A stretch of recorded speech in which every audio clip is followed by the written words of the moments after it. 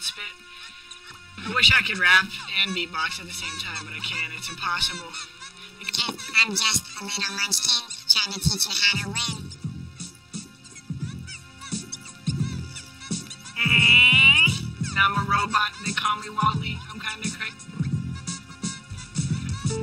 Oh, I got a deep voice and I'm teaching you how to rap. So what the fuck am I doing back? I'm chilling in my room looking like Draco Malfoy. So let me teach you how I fucking toy. With all these newbies playing ESEA, I like to walk around my room and dance a couple different ways. I got a AK-47 dance and a bomb defuse. Even if you try to play me, you'll always fucking lose. It don't matter. My brain will fucking splatter when I look at you because you can't climb a fucking ladder. You ain't able and capable of playing me. You might as well realize that you are lame G because you can't see me. Yep, this is a sandwich. I should have ate it ago, an hour ago, and then it would have vanished.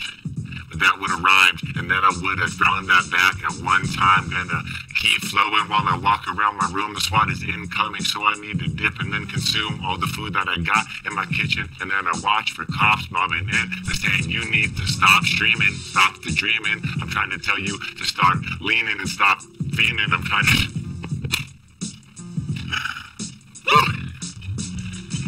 Yo, let's play like one more ESEA pug. I'll put a body in a rug and tell you all I'm not a fucking thug.